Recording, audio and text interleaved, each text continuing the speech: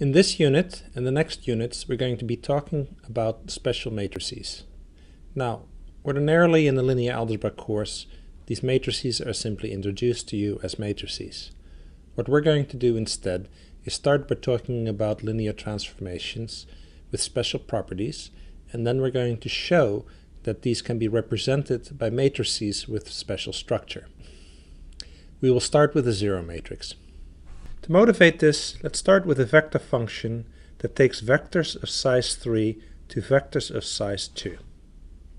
Now this particular function, which we're going to denote by L sub 0, takes vectors x, and no matter what that vector is, it outputs a zero vector.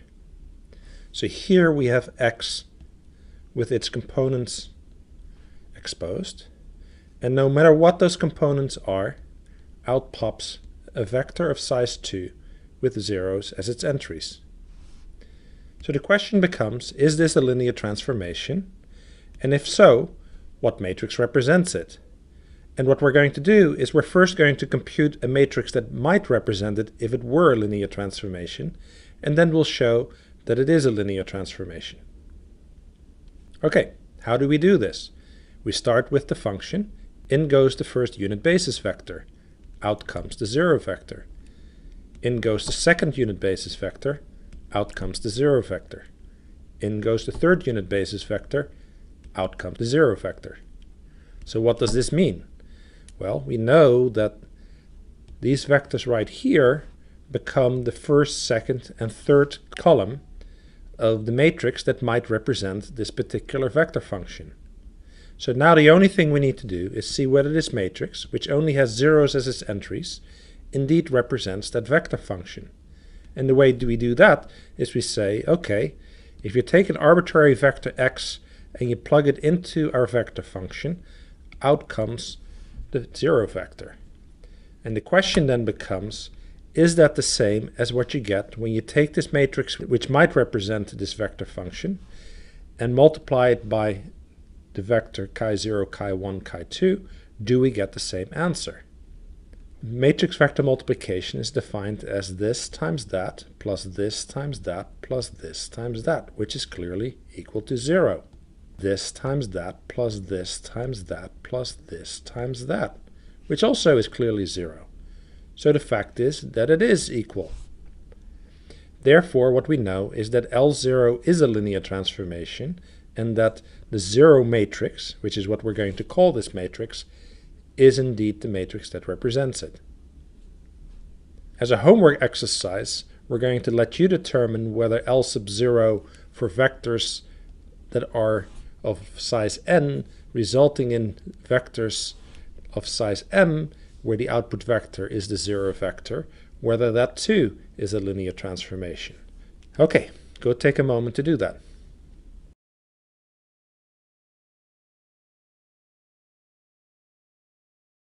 Okay, so hopefully you have concluded that indeed it is a linear transformation and that there is a matrix that represents it. We call that matrix the zero matrix, and let's look at an algorithm that takes a matrix A and overwrites it with a zero matrix. In other words, sets all of its entries equal to zero. And we're going to use this notation, which is a natural extension of the notation that we used when we talked about slicing and dicing vectors. And how do we do this? Well, initially we say take matrix A and partition it into a left part and a right part where the left part has zero columns. That's illustrated right here. Then we check whether we're done, which we're not, and we expose the next column. So this is column A1. And then we set that column equal to 0, where from context it's obvious that this represents the 0 vector because it's a vector that is being updated with it, that vector being this column. So it's set to 0, and then we move on. We go back to the top, we expose another column, set it to 0, we move on. Expose another column, set it to 0, and we move on. And then the final column, set it to 0, and we're done. So as a summary, the matrix that's m by n of all zeros, we're going to denote by 0, where hopefully from context it's clear what m and n are in that case. If it's not clear from context, then we will put a subscript m times n with the 0. And we're going to call this matrix the zero matrix.